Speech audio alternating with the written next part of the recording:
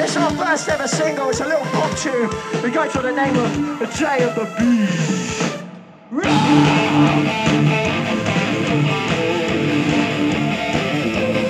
Is this your first time at GuilFest? It is. Yeah. Our first time ever here. We haven't even been as like spectators, so we're playing it for the first time. So yeah, we've just been get, having a wander around and seeing what it's all about.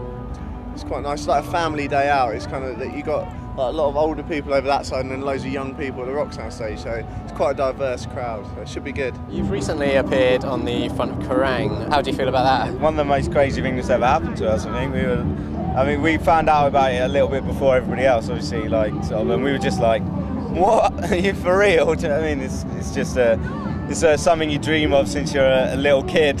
When you first pick up a guitar, it's like the first thing you want, isn't it? And so yeah, it's a bit of a dream come true, really. Yeah, our manager brought us into our, uh, into our hotel room when we were on tour, and he was like, "I've got, I've got to talk to all you guys." And he was building it up. He was like, "One of you's let me down," and we were just like, we were bricking Oh, it. no.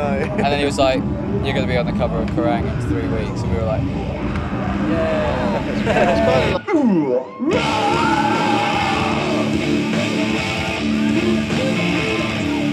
fancy stage moves. Um, Which is your favourite? I don't think we ever really think of, like of what. Yeah. I'm going to drop this plan. move now. Yeah. No. It's kind of all a bit unrehearsed. It's kind of taking the music and then you just unleash the monster, you know. So it's That- kind of, yeah. Like a red So- mist descends You, upon you've got us. some and good scissor kicks is your I sort of have, trademark. yeah, it hurts your balls Yeah. after a while. Though. I like jumping off high things, as long as there's not injury afterwards, and sometimes there is. I have injury. injured my knee doing that. I Yeah. jumped off that uh, where we played in Dublin Academy, and they've got two layers to their venue, and we jumped off the. s- I jumped off the second story onto the stage, and it, it didn't end Did you carry on? I carried on, Sometimes but afterwards I doesn't could look walk. high, and once you're up there, it's like it's With an quite high. instrument, you're like, Yeah.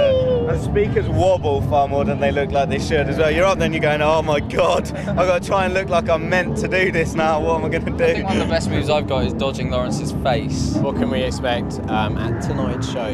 We couldn't give any more than what we give anyway, you know. I d- If I gave without than we like give- rocket packs and kind of you know million pound sort of bungee rope leverage systems. Spinning drum cage?